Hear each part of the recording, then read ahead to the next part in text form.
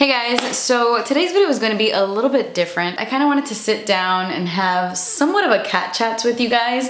I haven't done this in so long and I would totally be doing it on my cat chats couch in my little corner, but Celine has destroyed that couch. I have to wash my pillows, my throw, the actual couch it's it's a lot so I didn't want to scare you guys because I'm doing that this weekend and I really just wanted to sit down and talk to you guys about this because this has been on my mind for a few days and I don't even know what I'm titling this video. I don't I don't even know how to go about this video, where to start, how to end it, what the point is.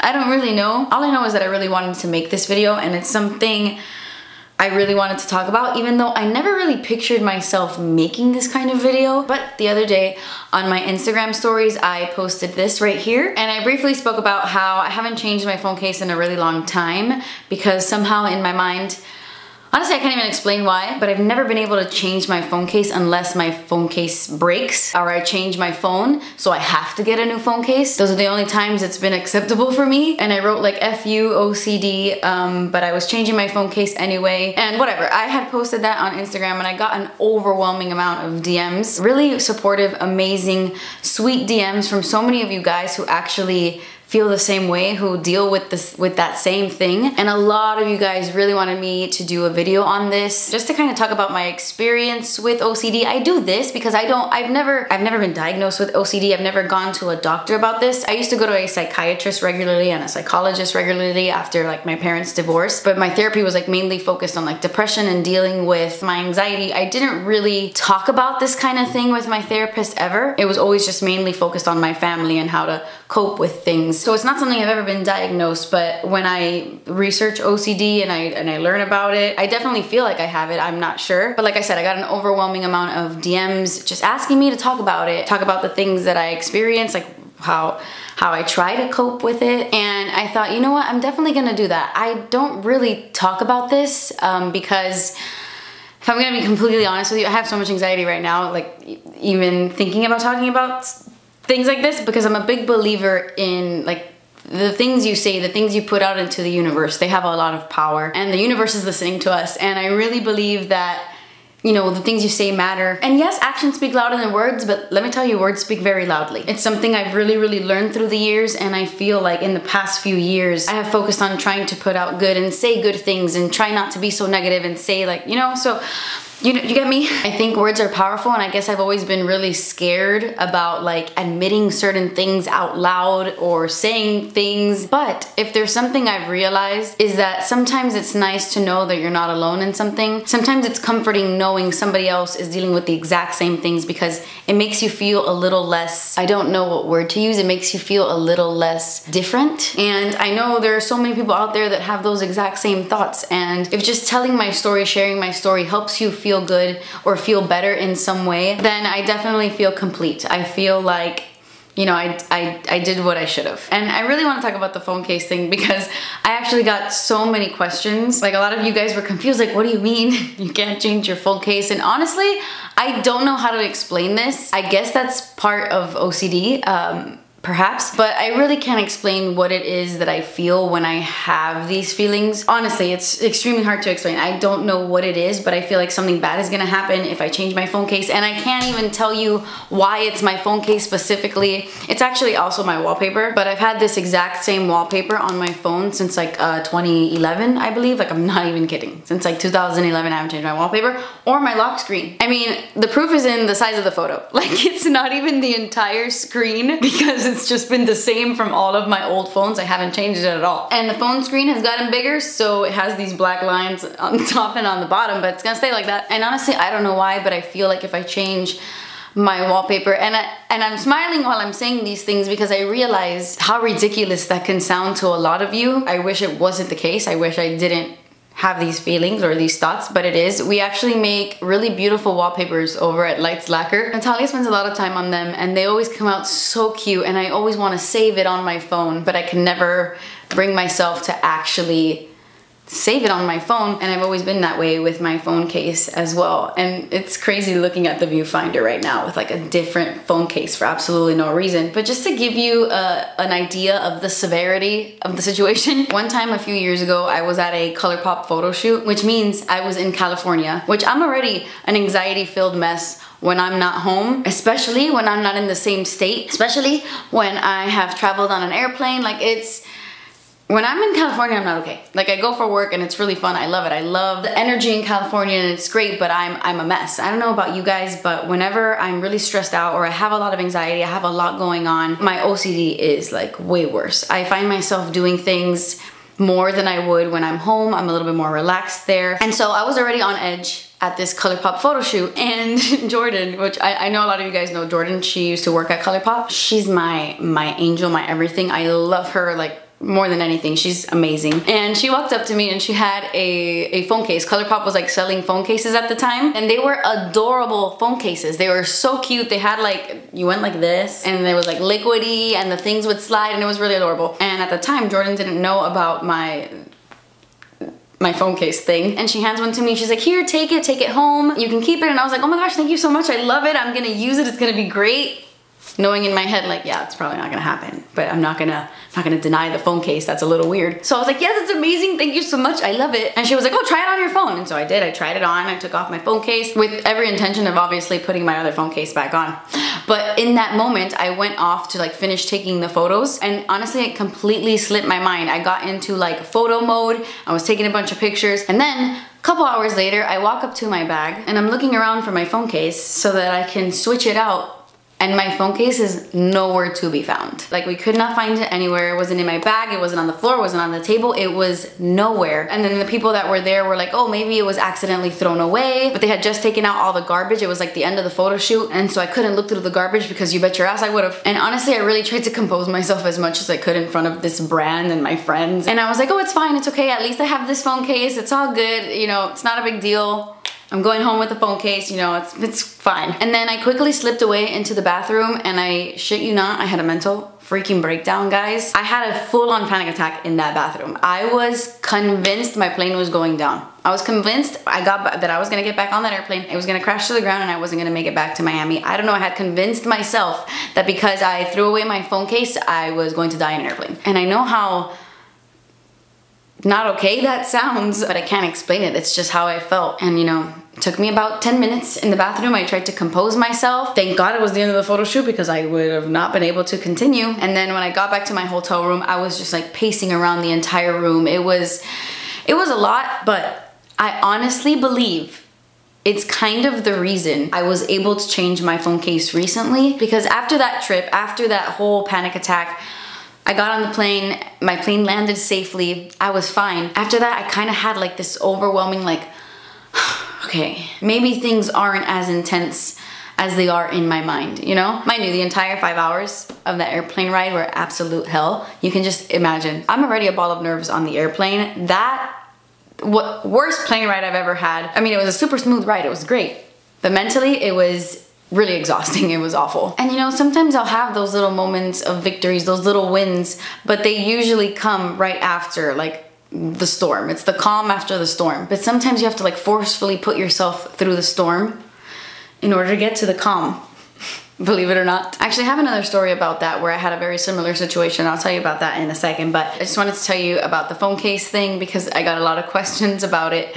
And honestly, I don't know where that came from, but we recently started selling phone cases on lightslabel.com. We used to have a different manufacturer, like when the Bodeguita one dropped, or the Libre phone cases dropped, but we changed our manufacturer for our Basically launch and our Muy Cozy launch, and the phone cases are like really good quality. Like I dropped this crap and it doesn't break. It's like very, very sturdy, really, really amazing. And so I had so much FOMO when the Basically phone cases launched and like all of my friends, my family, they had those new phone cases and I, I wanted that phone case so bad. I wanted to use it so bad. I wanted you guys to see it. I just, I, I wanted to use it. And I went back and forth for days and days and days and I don't know, I can't can't explain it, but I woke up one day and I was like, I'm changing my phone case today. I'm gonna, I'm gonna change my phone case and nothing's gonna happen. Everything is gonna be completely fine. And that's what I did. I changed my phone case that day. I posted that on Instagram and I feel like I can do it now. Uh, we just launched the Muy Cozy case and I didn't even think about it and I, and I changed my case. And that gets me really excited because it makes me feel like I'm getting a little emotional right now, but it makes me feel like I can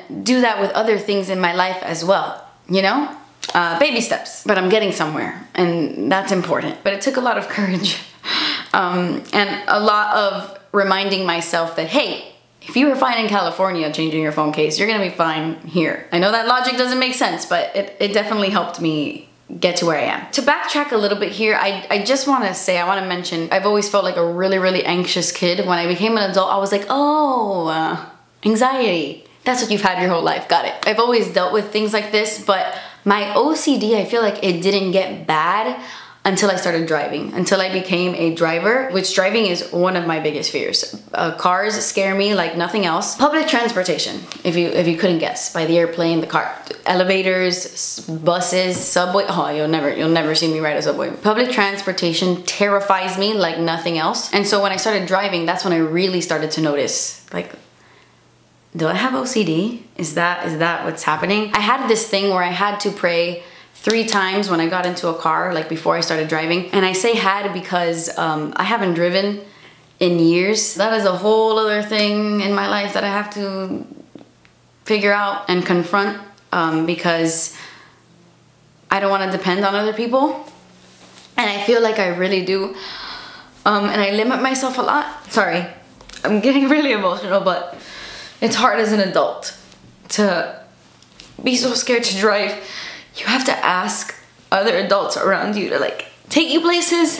I don't know. Anyway, like I said, whole other thing that I gotta work on. So like what I was saying, every time I got into my car to drive, I used to have to pray three times. It couldn't be twice, once, it had to be three times, and it had to be the same prayer three times. And I'm not like super religious. I have a lot of faith, I believe in God, but I'm not, I don't go to church. I'm more spiritual than I am religious, but I do like to pray. I find that it really helps my anxiety. It's something I enjoy, it helps me feel better. So I, anyway, I'd have to do that three times, and I used to drive with a rosary around my mirror, and I had to like grab it three times after every single prayer. And then after I would grab it, I would have to do the sign of the cross three times after. It was a whole process, but I could not start driving until I did that process. And so I never used to like driving with anybody in my car. I never used to like to pick anyone up, drop them off anywhere. Whenever I would go anywhere with my friends, family, I would always ask someone else to drive or let's go in your car because I didn't want anybody to get in my car with me and then see me do that and then think like, uh, are you okay? Like,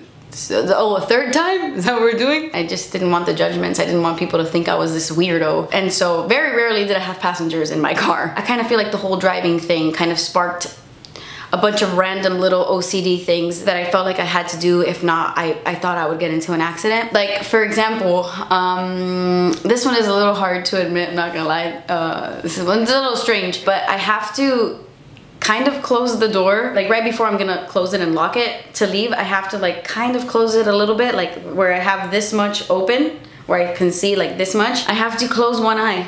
And by the way I swear I'm not making this up. I have to close one eye and I have to go like this to Cornelius and then close the door and then I'll be on my merry way and it can't be Celine and it can't be Porter because this thing that I started doing started when Cornelius was my only dog. Like the last thing I see before I go, it has to be Cornelius. I gotta give him a kiss. If not, I just can't get in the car. And that little thing has remained uh, ever since. And it honestly doesn't matter who's driving, but if I'm leaving my house, I have to do that. And it's actually pretty funny, except it's not funny. But the other day, my mom was here at my house and she was gonna stay here with the dogs and I was leaving to a photo shoot with Danny. And as I'm going to close the door, she's like standing like behind the door. She's gonna close it behind me and then lock it for me. And I close the door like halfway and I see her like in the thing and she's like, okay close the door and I'm like, mom, can you can you move? She's like, okay. Like she's like, why? And I'm like, just can you just can you just move for a second? And she's I need to see Cornelius. And she's like, okay. And she like moved. I blew Cornelius a kiss and I, I slammed the door and I just went out running. And my immediate thought was, please don't open the door because then I'm gonna have to go back and do this all over again because I have to close the door and then go. And when I sat in the car, I was like, I wonder what my mom was thinking on the other end of that door. Like, what was that about? And it honestly didn't hit me about how strange that was until my mom was there and, and we had that moment. And yeah, um, now you know what I have to do every single day when I leave my house. And I'm not gonna lie, sometimes it's a bit of an issue because sometimes Cornelius is off sleeping somewhere and he's not right at the door as I'm leaving. And then it becomes a little awkward because I have to call Cornelius over to the door. I have to pretend like I'm gonna tell him something, you know, remove him from his comfort just to be like, okay, and then close the door. And then Cornelius is like, what the hell? Why did you make me get off the couch? For what? It's uncomfortable for both of us. And I know a lot of you guys are watching this like, yes, you can. Just close the door and go. Just, I've tried. But I'll get there. I'll get there. Look, I have a new phone case. Who would have thought, huh? Another thing, um, I'm just, you know what? I'm just gonna tell you everything. I'm just gonna tell tell you, maybe not everything. I'm just gonna tell you the things that I do on a daily basis that don't make any sense. But, um, you know, if you do the same thing, hey, we're surviving. We're doing this this life thing. Maybe not as good as some other people who don't experience these things, but bro, we're hanging in there and that's that's what matters okay but i'm curious to know do any of you guys when you're listening to music if you're like jamming on spotify i listen to music every single day. It is my personal therapy but every time i'm gonna take off my headphones or i'm done listening to music for the night the last song i leave it on is very important. Like it can't be a breakup song it can't be a sad song it can't be like a traumatic song. It can't be anything that's not amazing happy a loving song a happy song. Because somehow in my mind I feel like whatever song I leave it on is gonna reflect on my daily life. Saying this shit out loud, I'm not even gonna lie. What is this? I don't try for this to happen. I don't come up with these random thoughts. They, they're literally to just live there. But I've been that way since my very first iPod. Like my little freaking iPod shuffle. Like I would play the song and it had to be a good song or if not, I couldn't take my headphones out. And yeah, it's frustrating. It makes you feel weird. It makes you feel like, why is my brain this way? The fact that none of my skincare and shampoo bottles can touch underneath my sink, I don't know what that's about. I don't know. But every time I go to place a bottle under my sink, if they're touching and I close the door and I walk away, I am thinking about them touching the entire time I closed the door, the entire time I walked away. And I end up turning back around, going back under my sink and separating them and making sure that none of them are touching. Why? I don't know. I'm that way with my mug cabinet too, where I keep all my mugs in my kitchen. The mugs can't be touching and I, I swear I've tried so hard to like purposely put it like next to the other one where they're touching and I'll close the door and I'll leave but it honestly won't leave my mind. Like I, I won't stop thinking about it until I turn around and separate my mugs. I try so hard every single day to get better and to work on my mental health. And I've told you guys this in the past like I read like a lot of self-help books um, I listen to like very positive podcasts in between all my murdery shit. That doesn't help, by the way, um, because I'm my own worst enemy. Um, but I try, I try, I really do. And some days I'm good, some days I'm really great and I'm feeling amazing. And then other days I feel like the world is gonna collapse if I do anything a certain way. And I'm like that with so many things. Like even just talking to my friends, a normal conversation. Like let's say one of them jokingly, this is super random, it makes no sense, but let's just say one of my friends was like, haha, wouldn't it be funny if you like fell and like broke your knee? None of my friends would ever say that to me, but I'm just giving you an example. And then it's like, haha, yeah, that's so funny. That would be, be so funny if that happened. And then everybody laughs. I literally will not stop thinking about what you just said unless you confirm that it's not gonna happen. Like I'd be like, ha, that's funny, but say out loud, please, that I'm not gonna fall and, and hurt my knee. And my friend would be like, oh, obviously, like obviously, like that's not funny. It was a joke. And I'm like, no, okay, but say it. Say you're not gonna fall and break your knee. And again, that was just an example, a really bad one, but I'm like that with so many things. And sometimes I think like, do my family and friends think that I'm not okay. And you know, it's been kind of hard for me because growing up, um, and still to this day, I've always felt like, and I'm, I swear I'm not saying this to sound like, okay, but I've always felt like the weakest link. Like out of all my friends, I'm definitely the biggest scaredy cat, the biggest wussy of life. I, every single person I know is braver than I am. Every single person, even the children in my life. Mila, oh my God, has way more balls than I do. And it actually wasn't until I started making videos on the internet and I started to open up a little bit more about my anxiety and my fears and my feelings when I realized like, oh my God, I'm not alone in this. You know, the internet is a really dark place. Social media is a really dark, twisted, fucked up place. But it has truly made me feel accepted, normal. So many of you guys throughout the years have told me about your anxiety, the things you've been dealing with, uh, all the stories I've read. It really is incredible how we're not alone. You know, there's there's always someone out there that's gonna understand you. And even though I might feel like nobody around me, like in my personal real life gets me, I find so much comfort in this place where we can talk about these things and there's there's such a level of understanding. Like i'm so grateful that i have this platform and i'm able to express how i feel without the judgment and where other people can leave comments without the judgment where we can all talk and express ourselves. And i love that you guys like respond in the comments to to, to each other. And basically what i'm trying to say is it's, it really is such a good feeling to know you're not alone. I know that sounds messed up because the last thing i would want is other people to feel like i do. I don't want anybody to feel those things. But there is a level of comfort in knowing that people are going through the same things that you are. I'm so sorry this video is so long already. I have been rambling here for a long time and I feel like there really is no conclusion to this video. There are so many more things that I work on on a daily basis and I know I should. I should. I should definitely go to therapy. I really want to go to therapy. Therapy was so amazing for me a few years ago it was it was incredible and I definitely want to go back. It's just there's a lot going on in the world. I, I don't want to leave my house. I honestly just leave when I absolutely have to and don't get me wrong this is I feel like this is 100% a necessity and I can do virtual therapy I hear that that's really helpful too but I don't know anyway um, before I go I want to leave you with another story that helped me break one of my curses. And I don't know, maybe it helps you get the courage to try to break one of yours as well. I don't know about you, but I feel like I make the most progress when I'm forced into things, you know? Like they say if you're afraid of flying, like travel a lot, get on a lot of airplanes because the less you get on an airplane, the more scared you are to get on one. And let me tell you, that's extremely true. I haven't gotten on an airplane at in 2020, I don't think. Oh yeah, oh, no, I'm lying. I went on an airplane in February, like right before everything went, like right before this whole shit went down. And like the thought of me getting on one is scary. Like I might never get on one again. I'm just kidding, I'm just kidding. I'm just kidding, I am gonna get on one, I am gonna on. But they say the best way to conquer your fears is to face them head on, which is the scariest thing in the world. But here's another story where I had to break through for forcefully. And again, it's tied to driving. so I used to have this little white Nissan Sentra. It was my first car. I loved it so much. And I don't know how, but somehow I accumulated three bobby pins on my passenger side. I don't know if it was like from taking my bobby pins out from like a scrunchie. I don't know if they were all taken out at once, if I had three in my hair, or if they were accumulated over time. I don't know, but somehow three bobby pins ended up in my passenger seat of my Nissan Sentra, like three little brown bobby pins, and they stayed there for eternity. They stayed there forever. I couldn't go anywhere without checking. That was another thing, by the way. I had to do my three little prayers, whatever, and then I had to make sure, look over and check that my bobby pins were intact and, and in the right place. But it was never a problem because I, like I said, I never really drove with anybody.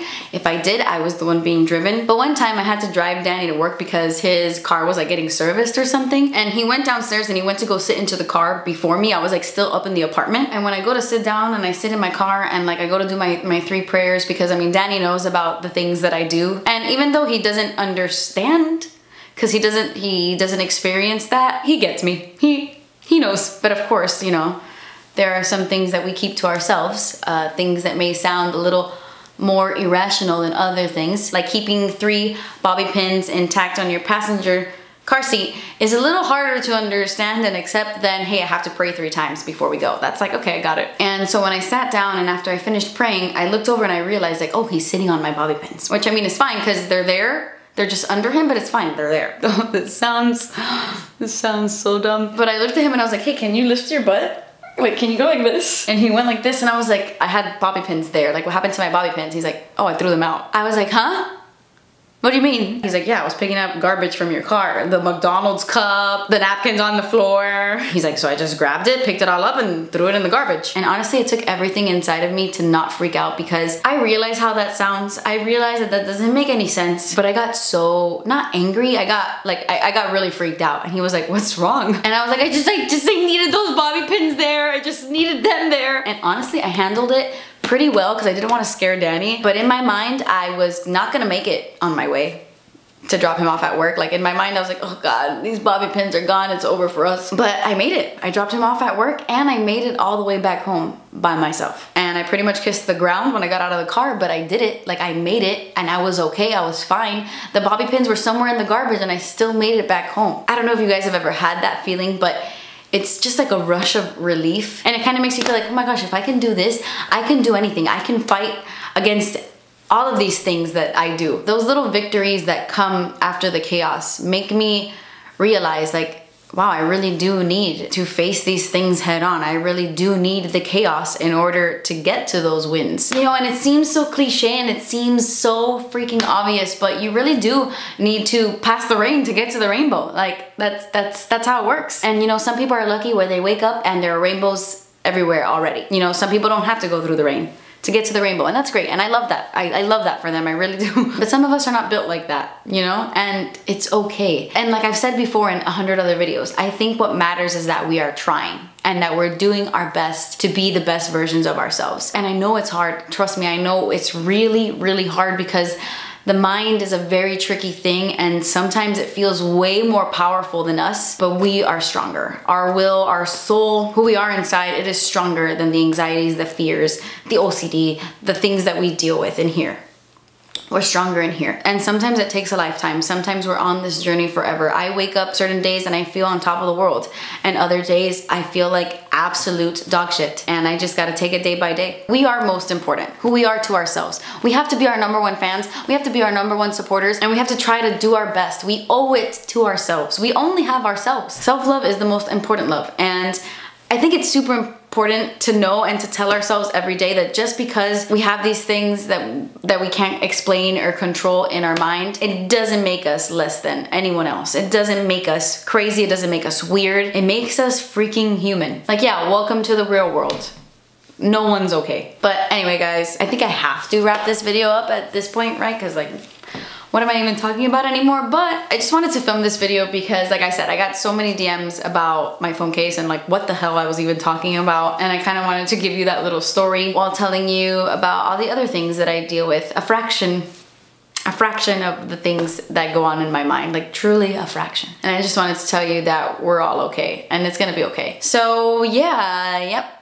that completes this video. That's my cat chats. Is my story time for today. Not much of a story time or a cat chats, but you know, at least maybe I kept you company while you're eating dinner or something. And maybe there's a chance that at least one of you guys found comfort in this video. Maybe you have to leave your door slightly open on the way out and then close one eye and blow a kiss to your oldest dog. I kind of want to give you guys my New Year's resolution because I Actually, I don't want you to hold me to it because it's just gonna give me more anxiety. I'm not even gonna lie. It's gonna make things worse. Don't hold me to it, but I want you guys to know that my New Year's resolution is to drive. Fun fact, it was my 2020 New Year's resolution. I was like, I'm gonna drive in 2020. But to be fair, I, uh, 2020 went to shit, and so I don't think, I don't think driving this year is a good idea anyway. But that's my resolution. Um, even if it's around the block, baby, I haven't put my foot to a gas pedal in years. But anyway, guys, that completes this video. Danny just got home. My dogs are about to freaking go nuts. So I need to wrap this up. But I love you guys. I hope you enjoyed this video. Whatever this video was, I hope you liked it. And yeah, I love you guys so much. Thank you guys so much for watching. Please subscribe if you haven't already, and I will see you in my next video. Bye.